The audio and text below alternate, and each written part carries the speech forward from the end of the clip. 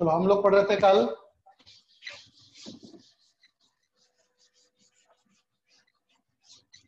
X ray और x ray में हम लोगों ने मोस्ले लो तक पढ़ा था।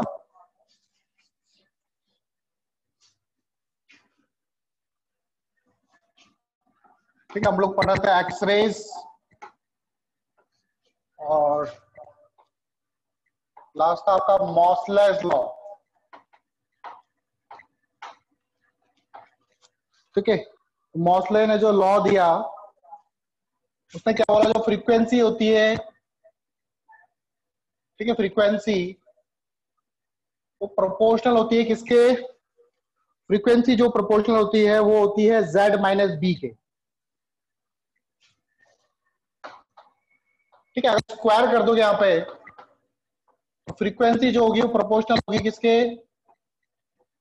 Z माइनस बी के स्क्वायर के प्रोपोर्शनल साइन हटेगा तो कांस्टेंट आएगा that is a, z minus B का स्क्वायर ठीक है तो फाइनली आपका ये फॉर्मूला आएगा frequency equal to A Z minus B का होल स्क्वायर ठीक है?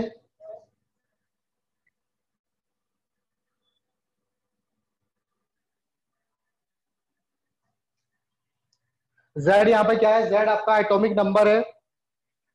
और न्यू आपका फ्रीक्वेंसी है बी को मैंने बताया था स्क्रीनिंग कांस्टेंट है, ठीक है?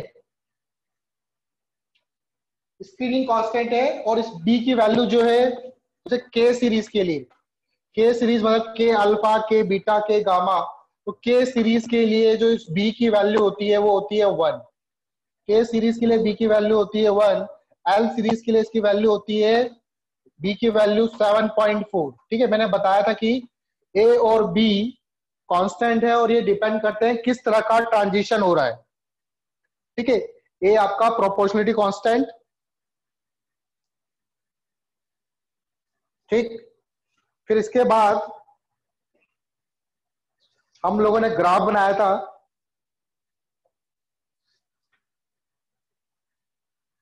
Graph between under root mu and Z के बीच में। वो ग्राफ समझ में आ गया था आप लोगों को?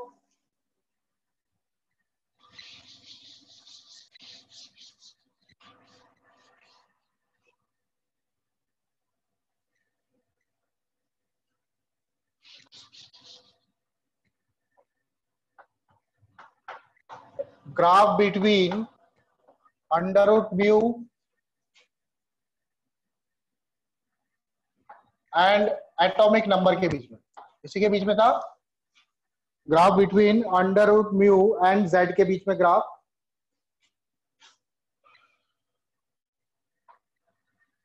एक तरफ़ ले लो आप, एटॉमिक नंबर, एक तरफ़ ले लो अंडर रूट न्यू।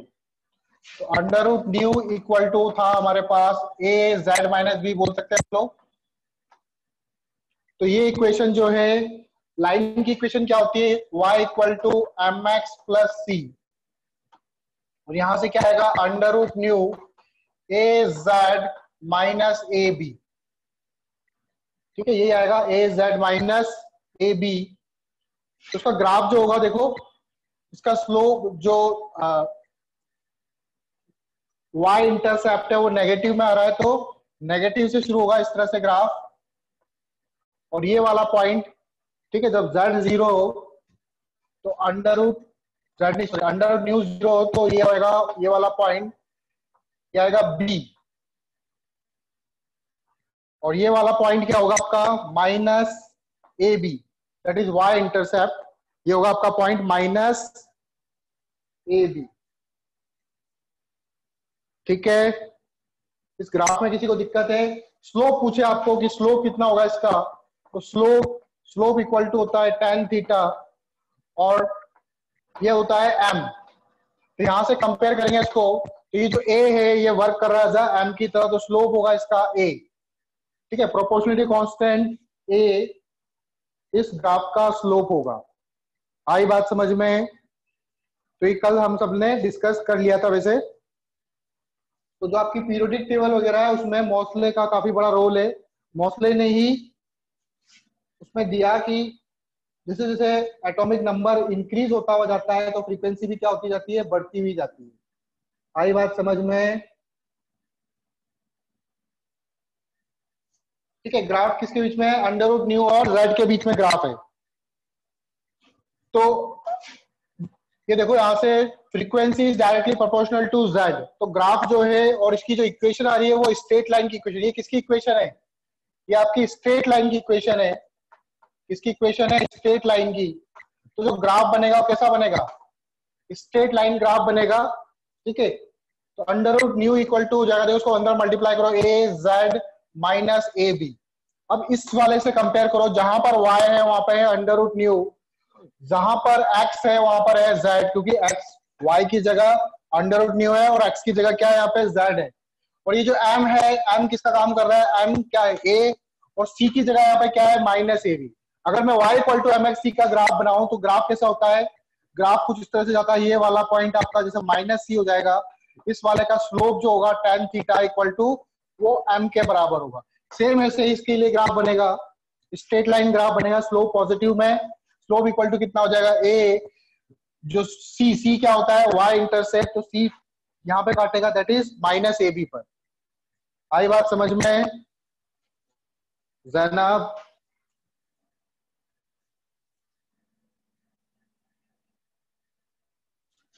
उसके बारे में थोड़ा सा लिख लो।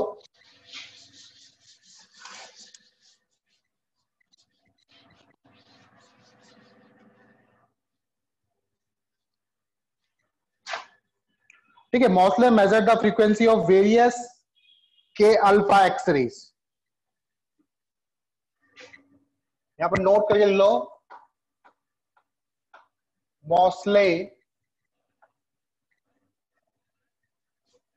measured the frequency of, frequencies of various various K alpha X ray ठीक है? उसमें भी सिर्फ़ एक पर्टिकुलर ट्रांजिशन लिया के अल्फ़ा ठीक है? के अल्फ़ा आपको पता ही है। उसमें पर्टिकुलर ट्रांजिशन लिया के अल्फ़ा मतलब के एल शेल से के शेल पे आ रहे हैं, ठीक है? Various X ray and place them in increasing order of frequency and place them अलग अलग मेटल लिए अलग अलग बॉडीज ली ठीक है? अलग अलग एलिमेंट लिए और सबके के अल्फ़ा एक्सरे को मेजर किया और उनको कैसे रखा and place them in increasing order of in increasing order of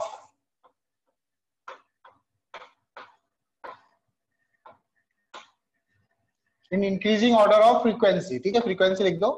उसको इंक्रीजिंग ऑर्डर ऑफ़ फ्रीक्वेंसी में रखा, ठीक है? तो हमें पता है कि जो फ्रीक्वेंसी होती है वो डायरेक्टली प्रोपोर्शनली होती है किसके? जेड के। तो increasing order of Z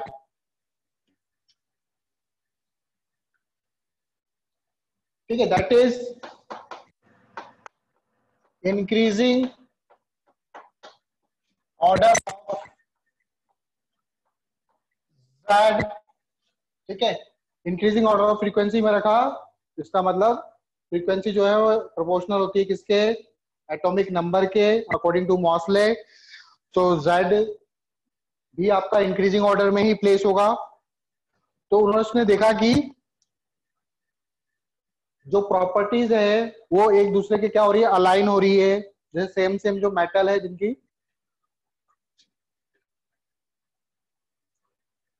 According to which according to which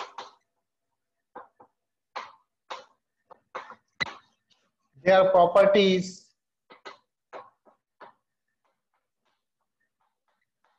are aligned इनकी प्रॉपर्टीज़ क्या हो गई? अलाइन हो गई. And periodic table is form and periodic table is form और इस तरह से आपकी पीरियोडिक टेबल फॉर्म हुई। ठीक है, ये लाइन लिख लो आप लोग।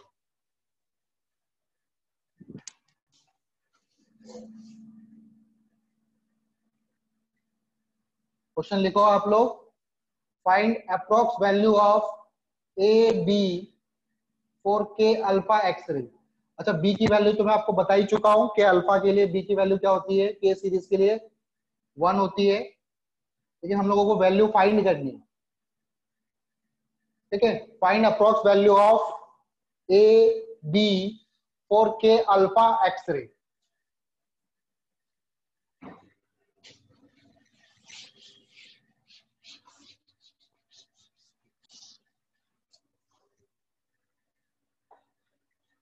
find approx value ठीक है? Approx find approx value of A and B for K alpha X ray K alpha x ray के लिए ए और बी की वैल्यू फाइंड करनी है आप लोगों को। करो आप लोग।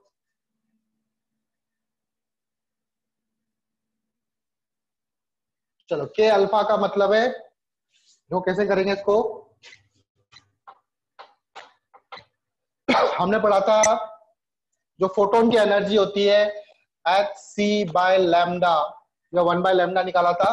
अगर एच सी बाय लैमडा लिखूँगा तो मैं लिखूँगा आर एच सी ठीक है आर एच सी फिर यहाँ पर क्या था? जेड माइनस ठीक है जेड का इसका जो एटॉमिक नंबर होता है यहाँ पर हम लोग z माइनस वन लेंगे क्यू वन लिया हमने। ठीक है, पहले इधर देखो, जैसे ये न्यूक्लियस है सपोज़ करो। ठीक है, ये आपका है के शेल के के बाद एल एम एन ठीक है तो ये इलेक्ट्रॉन है, ये इलेक्ट्रॉन क्या होता है?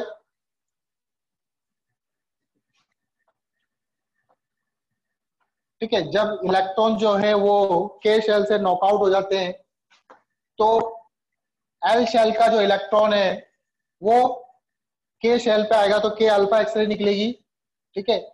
एल शेल का जब इलेक्ट्रॉन के शेल पे जम करेगा तो इसमें से जो फोटोन्स निकलेंगे, वो कौन से फोटोन्स होंगे? के अल्फ़ा एक्सरे वो आपकी के अल्फ़ा एक्सरे होगी, ठीक है? देखो सपोज़ इसका एटॉमिक नंबर कितना है? सॉरी इसमें नंबर ऑफ़ प्रोटॉन्स कितने जेड ई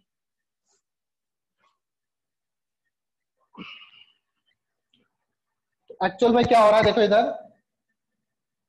ये इलेक्ट्रॉन्स यहाँ पर z माइनस वन क्यू लिया हमने? इसके बारे में सोचो, z माइनस वन क्यू लिया? z माइनस वन का स्क्वायर फिर अंदर आया यहाँ पे lower orbit minus higher orbit one by one का square minus one by two का स्क्वायर ठीक है, ऐसे ही निकालते हैं एनर्जी का। Energy of photon equal to H C by lambda ठीक है? आर एच सी कौन से ऑर्बिट से, कौन से ऑर्बिट में जा रहा है? Lower orbit minus higher orbit ठीक है? यहाँ पे जेड माइनस वन क्यों आया? इसके बारे में थोड़ा सा डिस्कस करेंगे। जेड माइनस वन यहाँ पे क्यों आया? ये सुनो। मैंने बोला था कि जब के के शेल के इलेक्ट्रॉन्स नॉकआउट होते हैं, ठीक है? नॉकआउट का मतलब है यहाँ पर कभी कभी जो न्यूक्लियस होता है, वो न्यूक्लियस में काफ़ी स्ट्रॉन्ग फोर्स हो जाता है, इतना स्ट्रॉन्ग फोर्स कि वो के शैल के इलेक्ट्रॉन्स को क्या कर लेता है? के शेल के इलेक्ट्रॉन्स को कैप्चर कर लेता है। उसे के कैप्चर बोलते हैं हम लोग। ऐसा रेयरली होता है बहुत। लाखों इलेक्ट्रॉन्स में लाखों एटम में से एक एटम ऐसा होता है। तो कभी कभी जो हाई मेटल्स होते हैं, उसके जो न्यूक्लियस होता है, वो क्या करते हैं? के के शेल के इलेक्ट्रॉन्स को कैप्चर कर लेते हैं। ठीक है? तो के कैप्चर हो जाएगा ये। के शेल के इलेक्ट्रॉन यहाँ पर जाएगा तो एक वैकेंट स्पेस बनेगा। तो एल शेल के इलेक्ट्रॉन्स या यहाँ पर स्पेस खाली हो गया तो हाइयर ऑर्बिटल इलेक्ट्रॉन्स के शेल के इसमें ऑर्बिट में जम करेंगे, ठीक है? तो आपकी क्या निकलेगी? के टाइप अल्फ़ा एक्स निकलेगी अब इसका जो एटॉमिक नंबर हो जाएगा, ये प्लस जेड ही था तो अब एटॉमिक नंबर क्या हो जाएगा? जेड माइनस वन का होल स्क्वायर इसलिए हमें जेड का स्क्वायर ना लिख के हम लोग क्या लिखते हैं? जेड माइनस वन का होल स्क्वायर लिखते हैं, ठीक है? तो देखो यहाँ से क्या आ जाएगा? H C by lambda equal to R C solve करोगे। तो कितना आ जाएगा? थ्री बाई फोर आएगा आई थिंक सॉल्व ठीक है? हम लोगों को फ्रीक्वेंसी की टर्म्स में चाहिए। तो फ्रीक्वेंसी क्या होती है? एच से एच काट दो आप लोग। तो फ्रीक्वेंसी हो जाएगी, देखो सी बाय लेमडा आपका, ये आई थिंक फ्रीक्वेंसी होता है। फ्रीक्वेंसी इक्वल टू हो जाएगा R C three by four R C ऐसे करो। फ्रीक्वेंसी इक्वल टू हो जाएगा three by four R C Z minus one का होल स्क्वायर ठीक है? और अब रूट वगैरह भी लगा दो आप अंडर रूट म्यू तो क्या हो जाएगा इधर? Under root three by four R C और z माइनस वन का होल स्क्वायर तो ये हो जाएगा z minus one now by Moseley law Moseley ने क्या लॉ दिया? मॉसले ने जो बोला कि फ्रीक्वेंसी इक्वल टू क्या होता है? ये होता है ए जेड माइनस बी दोनों को कंपेयर करो ऑन कंपेयरिंग तो ए इक्वल टू क्या हो जाएगा? Under root three by four R C और बी हो जाएगा कितना? वन ठीक है? तो बाय कंपेयरिंग दोनों को कंपेयर करेंगे हम लोग। बाय कंपेयरिंग ठीक है? एक तो हमने ये एनर्जी वाले मेथड से निकाला और मॉसले ने जो लॉ दिया उससे हम दोनों को इक्वेट करेंगे कंपेयर करेंगे तो ए इक्वल टू हो जाएगा under root three by four R C और बी इक्वल टू कितना हो जाएगा? वन हो जाएगा। किसी को कोई डाउट है तो पूछ लो बेटा।